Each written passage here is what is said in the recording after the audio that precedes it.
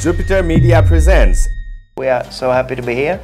And uh, for Nepalese students, that we have had an, a bit of experience with them. Uh, and now we would like to develop more and to reach out here in the Nepalese market to see, give them the opportunity to, to see Sweden. We have loads of different activities that our student union is taking care of together with our international office to support the students uh, at in Sweden. All awards of degrees that universities give, they are controlled by the Swedish government. So it's total equality ensured. Around 90% of all students that are graduating, they get within year, uh, 95, 90% get an employment in the correct field of their education. That means that it's not just for Swedish students, but also for international students. Quite sure that we will get more students from Nepal to Sweden, and hopefully we can build on this exchange so Swedish students can get experience Yeah. of Nepal.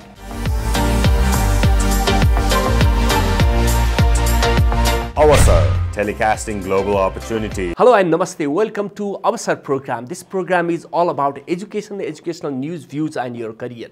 Today we are going to talk about the unique study destinations Sweden.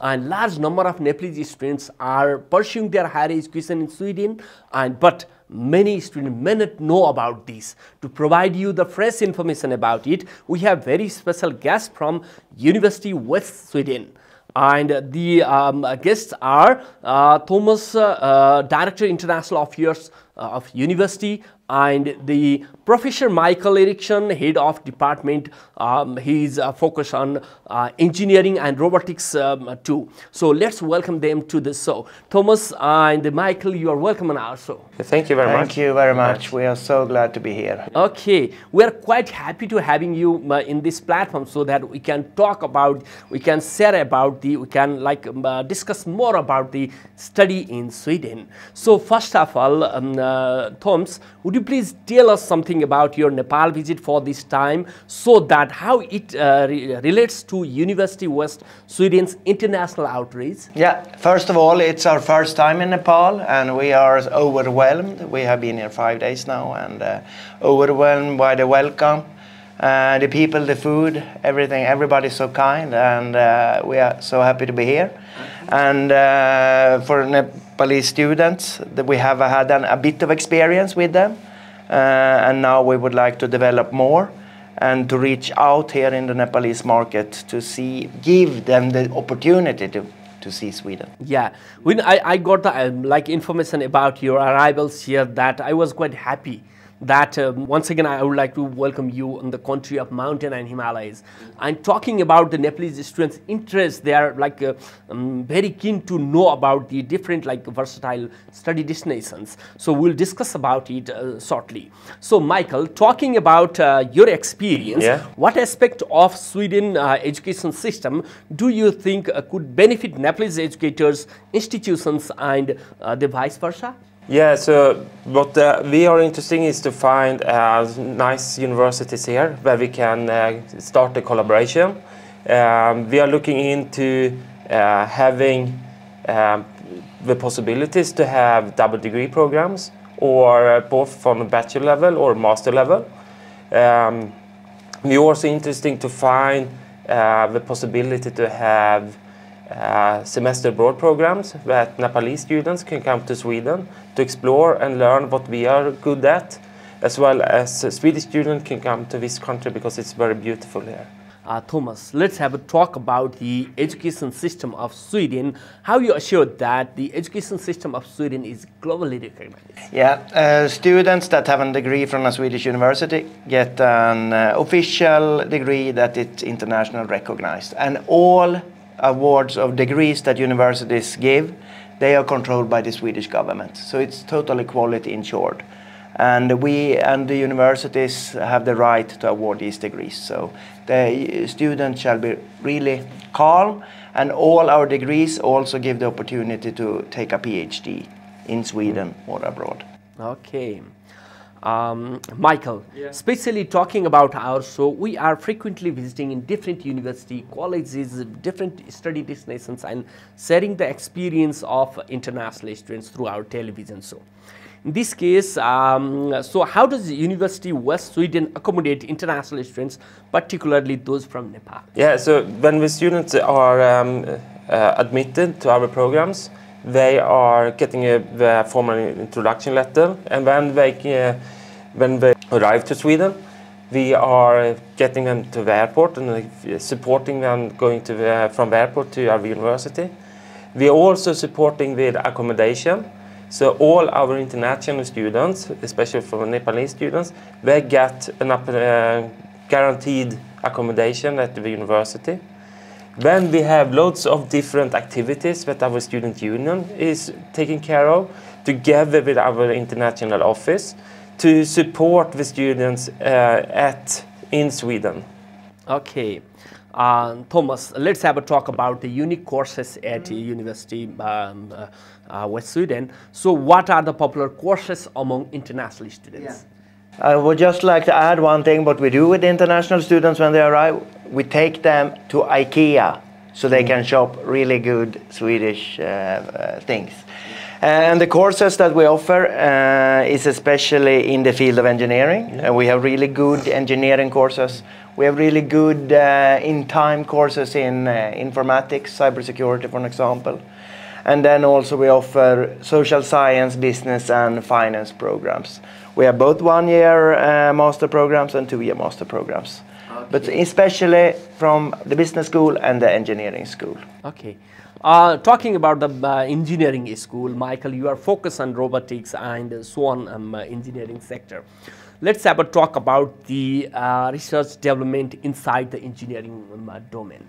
So the teaching that we are doing is that we have a number of lectures.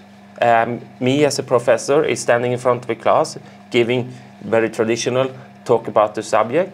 But I think that is a little bit more unique for Sweden compared to many other countries is that I, we really encourage to have a dialogue. Uh, so I have lots big dialogue with my students. Uh, the second thing which I think is very unique is that I give the students their own responsibility to learn the subject. I'm not just feeding the information, so I can have a few lectures and then in a week, I give them assignments, I give them project, I give them laboration tasks to develop their own uh, studies. But I'm not just, I just checking in the end, more than checking continuously or teaching how to do it. So it's more freedom for students. I think that is a really big or interesting challenge for many of our international students because we are not so used to have this amount of freedom. So then we are integrating uh, the students in projects. So we as a researcher, we are collaborating with lots of companies. So we involve the students in this type of activities, in projects, thesis work, guest lectures and so on. So we give the students a much bigger uh, experience, bigger experience connected to our industrial context, to our industrial context. So I think that is a little bit different from um, the, in the teaching methods that we are using. Okay, Tomas, especially talking about the like um, uh, University of West Sweden to make the horizon wider. What sort of the industrial tie-ups are there so that student can get the education inside the classroom and the beyond the uh, like um, classroom also. So what sort of the uh, tie-ups are there? Yeah, as uh, Mikael mentioned, uh, th that what we're trying to do here in Nepal is to build the exchange between uh, universities, but then we also try to find companies uh, where students can be and doing an internship or an industrial placement course. We have that opportunity in some hubs uh, around the world and also in Sweden, of course. So the connection between business life and the university, that is our strong side, I would say. Okay. Uh, Tomas, especially talking about, we have already like talked about the like uh, engineering department and other uh, things. So even talking about the uh, uh, ECA and um, uh, extracurricular activities, what sort of the competition and the activities happening there in University West Sweden so that student can excel as per their expertise and their interest? So um, we have lots of activities that is going on to really encourage the students to take their responsibility for their own uh, education, but also for what different type of activities you can do in your spare time. Our student union is very active in uh, interacting with uh, international students. So they are doing different type of trips. They are doing exploring the north of Sweden because that is very beautiful both in the winter but it's cold but also in the summer. The student union is very active and as I Yeah. said before we have good relation and interacting with them as well to support them. Yeah, and they have pubs every week for Yeah. students. Yes. And together with Swedish students, not only international No. students, they're working together to Yeah. integrate. So they get the whole Swedish experience. Okay. Uh, Tomas, especially talking about the opportunities for international students, uh, study is one side and they want to excel themselves as uh, like uh, working opportunities and want to do something in like Sweden.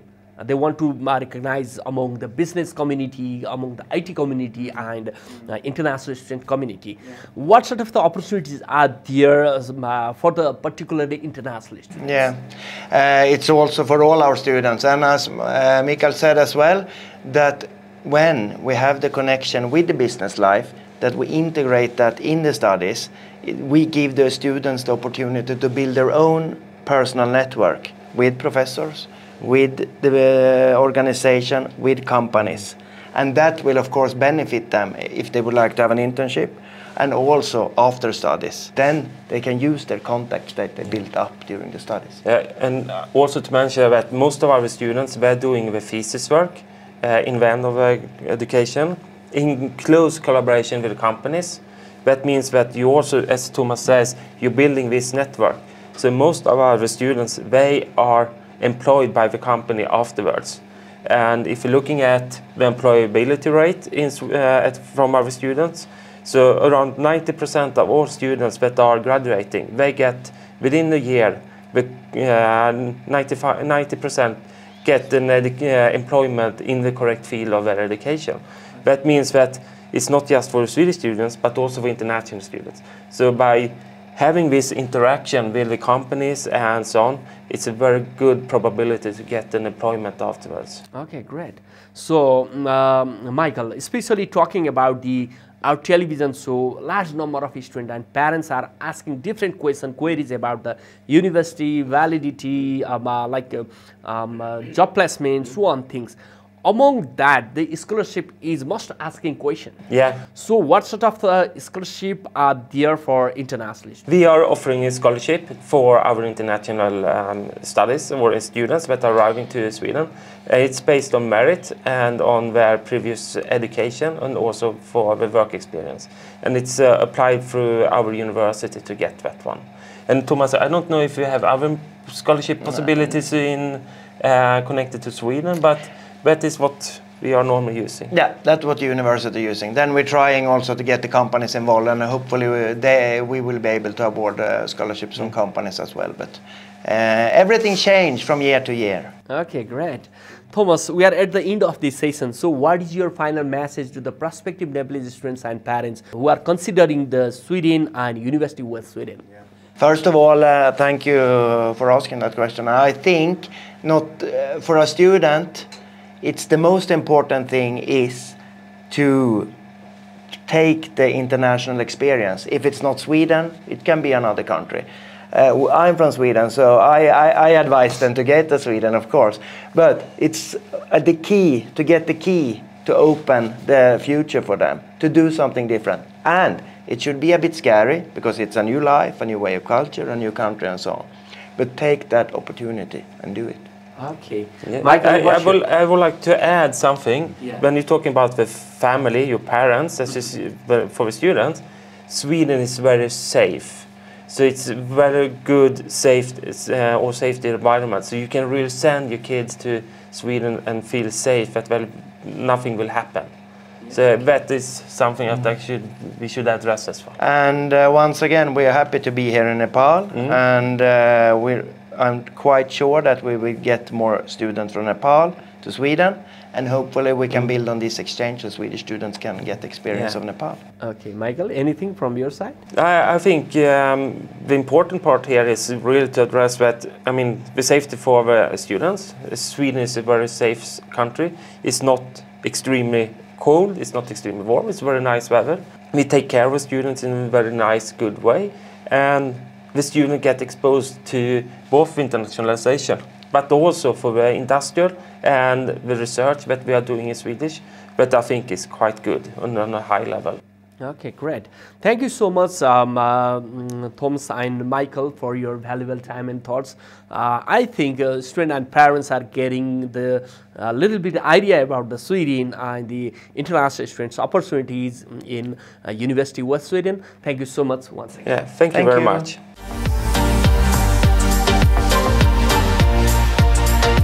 Avasar, telecasting global opportunity.